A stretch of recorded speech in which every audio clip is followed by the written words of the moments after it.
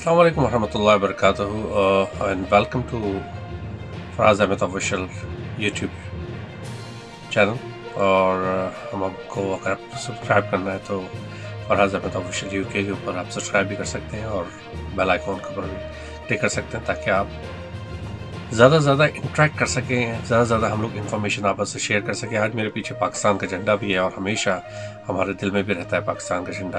But इस time के ऊपर ये वीलॉग बहुत इंपॉर्टेंट है इसलिए से क्योंकि पाकिस्तान एक डिफेंसिव मूवमेंट पर जा रहा है और बहुत ही, अगर कहा जाए कि पाकिस्तान की इस टाइम सालमियत के ऊपर मामला चले गए हैं तो वाकई सही होगा। ओवरऑल अभी मामला ये है कि तकरीबन सात हज़ार से ज़्यादा कारकुनान पीटीआई के अरेस्ट कर दिए गए। और बेतहाशा ह्यूमन राइट्स की वायलेशन औरतों के साथ ज्यादती। ना सिर्फ़ हम समझते थे कि कश्मीर, हम लोग बड़े बाहर ममालिक में बैठे हुए लोग भारत के ख़िलाफ़ एहतजाज करते थे और कहते थे खातन के साथ क्या हो रहा है और ये क्या हो रहा है। अब अंदाज़ा ये हुआ है कि पाकिस्तान के अंदर ना तो खातन के साथ इतना ये कुछ हो रहा है, बल्कि वही मामला जो कश्मीर में हमने देखे थे कि इंटरनेट सर्विसेज़ बंद कर दी गई थी यूट्यूब बंद कर दिए गए थे। इस तरह के तमाम वो मामला जो हमने इंडिया मकबूजा कश्मीर में देखे गए थे, वो सारे इस टाइम पाकिस्तान के अंदर हो रहा है। और उससे वर्स्ट हालात ये हैं कि वहाँ पे कोई बंदा आवाज़ नहीं उठा सकता, वहाँ की मीडिया यानी कि पाकिस्तानी मीडिया इस टाइम पे पूरे तरीके से इस बरबरीत के अंदर शरीक है। तो सबसे पहले तो हम एक चलते हैं और अभी एक छोटा सा क्लिप दिखाता हूँ कि जो खान साहब ने लास्ट कह रहे हैं कि वो मेरी एक लास्ट तकरीर है और उसके बाद उन्होंने अभी मीडिया को भी ताज़ा तरीन रिपोर्ट ये में है कि उन्होंने अभी कहा है कि मैं मीडिया को भी अंदर लेके गए वो अंदर मीडिया को दिखा रहे हैं। और उसके बाद मैं थोड़ा सी बात करूँगा। ये खान साहब की तकरीर सुनिए पहले आप। आखिर में मैंने अभी सुना है कि जनाब चालीस दहशत गर्द मेरे घर में जिनको मैंने पना दी हुई है। और कहा जी कि हम इनको, इनके ऊपर कोई घर के ऊपर कार्रवाई होगी, चालीस दहशत गर्द को पकड़ने के मेरी रिक्वेस्ट है आपको कि चालीस दहशत गर्द अगर घर में हैं तो मेरी ज़िंदगी को भी खतरा है। मेहरबानी करके ज़रूर आए यहाँ। लेकिन इस तरह ना है कोई दावा बोल के इस तरह करें सर्च वारंट लेके आए एक मौसम माशरे की तरह आए आए, कि कोई नाम तो दे ये दहशत गर्द है कौन? और आए, हम आपको सारी दिखा देते हैं, घर में किधर है, कितने दहशत गर्द है। शायद मेरा ही फ़ायदा करवा देंगे अगर कोई छुपा हुआ हुआ दहशत गर्द है। लेकिन इसको एक बहाना नामा बनाए। जिस तरह हमारे लोगों को पकड़ रहे हैं, जिस तरह इसको सारी, इसको इस्तेमाल किया गया है, तहरीक इंसाफ के ऊपर क्रैक डाउन करने का।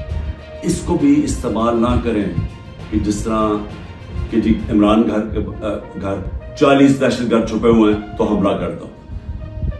तो इसलिए मैं आज सबको कह रहा हूँ कि इस वक्त इसको आप और आगे ना बढ़ाएँ, क्योंकि ये बढ़ती जाएगी किधर तक जाएगी बात? इसमें तो कोई हल है ही नहीं कि सिर्फ़ पीडीएम को फ़ायदा करवाने के लिए कि वो जो मैं बार बार कहता हूँ कि ये ये हालात हैं कि सत्तर फ़ीसद इस वक्त कौम इधर खड़ी हुई है। तो ये जो थोड़े से रेलू कटे हैं, इनको बचाने के लिए यानी सबसे बड़ी जमात को खत्म कर देना है, खत्म करने को क्या ये हो सकता है?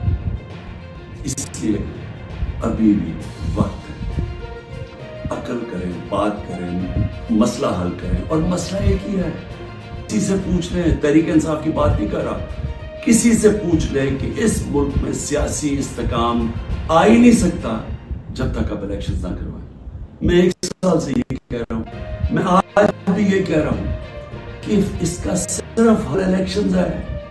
और मैं तब से इंतज़ार कर रहा हूँ कि कोई बातचीत करे इस पर जिन लोगों से हम बात करते हैं, वो नहीं सुनना चाहते। वो अजीब अजीब बातें करते हैं कि जी, वो से आगे चला जाए। तो वो वो तो ये तो होना ही नहीं। अगर ये आज सत्तर है तो ये और बढ़ जाएगा आगे। लीड और इनकी बढ़ जाएगी। तो उन्होंने तो इलेक्शन नहीं करवाना। तो जो करवा सकते हैं मेरी आज आपसे अपील है इस मुल्क को बचाएँ और इलेक्शन करवाएँ। अच्छा, आपने खान साहब की तकरीर सुनी है और आपको अंदाज़ा हुआ होगा कि इस टाइम के ऊपर खान साहब की जो लबो लहजा है और तमाम मामला हैं वो अभी तक उतने ही मज़बूत हैं जो शुरू दिन से मज़बूत थे और ये मज़बूत तरीन होते जा रहे हैं। अच्छा खान साहब को बहुत दफ़ा ऑफ़र हुई है और कह रहे हैं कि आप कश्मीर चले जाइए, आप गिलगित बल्तिस्तान चले जाइए और आपकी जहाँ हुकूमत है वहाँ जाके अपने सेफ़ हेवन पे वहाँ पे आ जाइए। खान साहब अभी अपने उसी मौके पे डटे हुए हैं कि मैंने यहीं बैठना है और अगर अल्लाह ना करे, अल्लाह ना करे, कुछ होना है तो मैं अपना मकाम तब्दील नहीं करूँगा, अपना स्टैंड तब्दील नहीं करूँगा।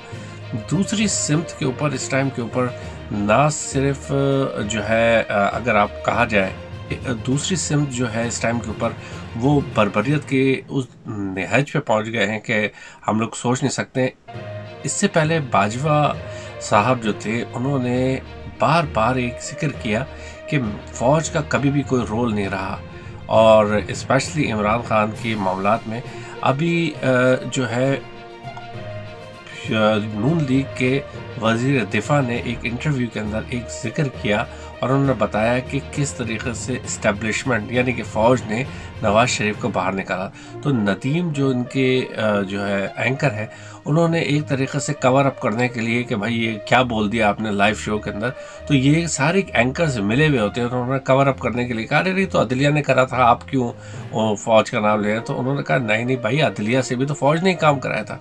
तो इसका मतलब ये था कि तमाम मामला में शुरू से जिस टाइम से गवर्नमेंट इमरान खान की आई है, उसी टाइम से गवर्नमेंट को फेल करने के लिए इन लोगों ने किया था और ये मजबूरन इमरान खान को वज़ीर अजम बनाने की हो, हुई थी। वो भी इस वजह से हुआ कि इमरान खान ने इतना प्रेशर डाल दिया दुनिया भर के अंदर इंटरनेट के ज़रिए कि Imran Khan is a popular leader उसको मौका एक देना चाहिए। तो इनका जो प्लान असल में ये था कि इसको इमरान खान को एक दफ़ा मौका दिया जाए और जैसे ही मौका देंगे हम इसकी गवर्नमेंट के अंदर इतने फॉल्ट बनाएँगे, इतनी चीज़ें बनाएँगे कि इसको हम फ़ौरन से बेचता नीचे गिरा देंगे। और जब नीचे गिरा देंगे तो फिर ये कभी उठ के वापस नहीं आएगा क्योंकि लोग हमारे लोगों को पता है कि एक दफ़ा अगर किसी तरीके से भी कोई किसी करप्शन केस में किसी चीज़ में डाल दिया जाए तो उसको वापस नहीं लाएँगे। बट अनफॉर्चुनेटली उनका प्लान इधर से ख़त्म हुआ कि कोरोना आ गया। और कोरोना आने की वजह से पूरी दुनिया शट डाउन हो गई, पूरी दुनिया की इकॉनमी नहीं चली गई। तो इन्होंने कहा कि अगर अभी हम इमरान खान को इस तरीके से करेंगे तो ये सारा कोरोना को ऊपर चला जाएगा। बट अल्लाह का करना ऐसा हुआ कि कोरोना के अंदर भी इमरान खान की पॉलिसीज़ ने इतना अच्छा काम किया कि वो ग्रो अप कर गई और पूरी दुनिया में इमरान खान का नाम हो गया। तो ये उस जगह पर भी आके इनका मामला ये हो गए कि इसको किस तरीके से निकाला जाए, इसका मतलब ये था कि जब नवाज़ शरीफ को निकाला गया तो तमाम मामला पहले ही तय हो गए थे कि गवर्नमेंट को कैसे गिराना है। दूसरी चीज़ ये कि इस टाइम के ऊपर जो है, वो जो बार बार कहा जा रहा है London plan London plan London plan है क्या?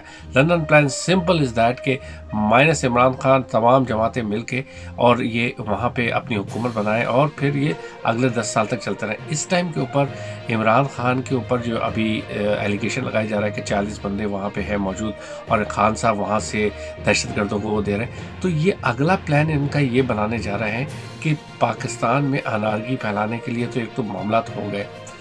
दूसरा ये कि जैसे ही जाएँगे, अनारगी फैलेगी सेकेंड हाफ़ में ये होगा कि पाकिस्तान के पास अब हालात इतने ख़राब आ गए हैं कि वहाँ पे लोगों के पास पैसे नहीं है। आने वाले दिनों के अंदर जितने लोगों ने बैंकों में पैसे रखवाए हुए वो अपने बैंक के पैसे निकलवा दें, क्योंकि वो बहुत मेजॉरिटी चांसेस है कि वो फ्रीज हो जाएँगे पैसे।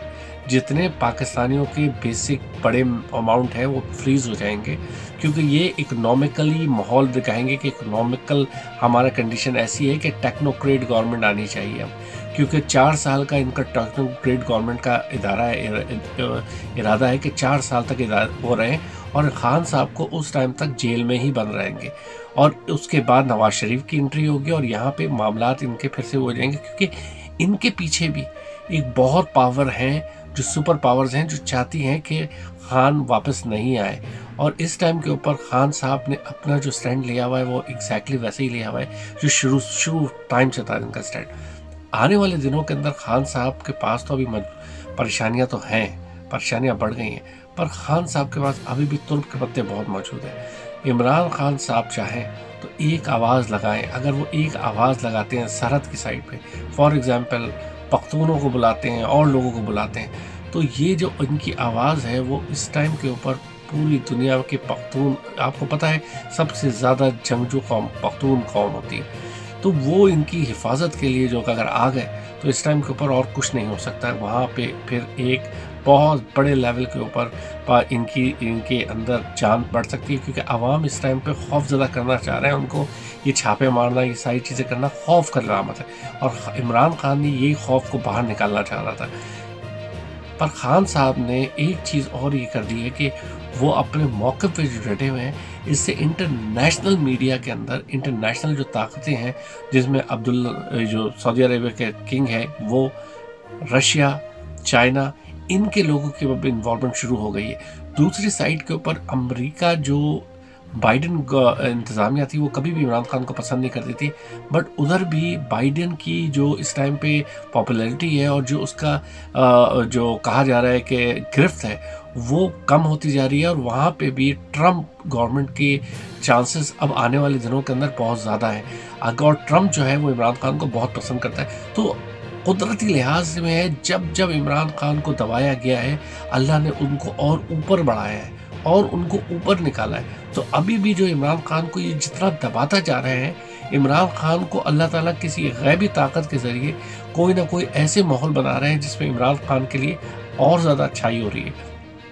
इस टाइम के ऊपर खान साहब के ऊपर जिस तरह का प्रेशर है, जिस तरीके से माहौल बनाया हुआ है, खान साहब नहीं हट रहे आने वाले दिनों के अंदर यही लग रहा है कि खान साहब इस टाइम के ऊपर, जिस मौके के ऊपर चल रहे हैं खान साहब के पास अगर ये एक दो हफ़्ते निकल जाए और ये माहौल इनका एक एक कहा जा रहा है कि जिस तरीके से जा रहा है माहौल, ये हो गया तो पाकिस्तानी गवर्नमेंट के ऊपर इंटरनेशनली बहुत बड़ा प्रेशर आने वाला है, क्योंकि अब तक आपने देखा है कि खान साहब के ऊपर जितना असैसिनेशन हुआ है, कितने बंदों को मार दिया गया पचास बंदे मर गए उसकी एफ़ आई आर नहीं कट रही है, और उन उठाया जा रहा है किस वजह से कि कायद अजम का घर जला दिया गया आप अंदाज़ा करें कि पाकिस्तानी कौम का खून कितना सस्ता है इस टाइम के ऊपर। तो खान साहब ने जो अब इंटरनेशनली प्रेशर डलवाने के लिए, अब आप देखिए अल जजीरा को इंटरव्यू दे रहे हैं, और लोगों को दे रहे हैं तो ये इस टाइम के ऊपर ना सिर्फ़ पाकिस्तान के अंदर जो है इंटरनेशनली जो ह्यूमन राइट्स वाले लोग हैं, वो आना चाह रहे हैं कि वो कह रहे हैं हम खुद आके देखना चाह रहे हैं।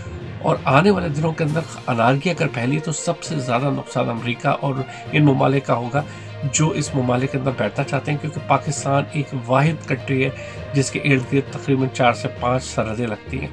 तो कभी अमेरिका नहीं चाहेगा कि पाकिस्तान में अनारगी हो और खून रेजी हो। इस लिहाज से दुआ करते हैं कि अल्लाह ताला पाकिस्तान के अपनी हिफाजत में रखे और ये जो कुछ दिन है, अल्लाह ताला साथ खैरियत से निकाले।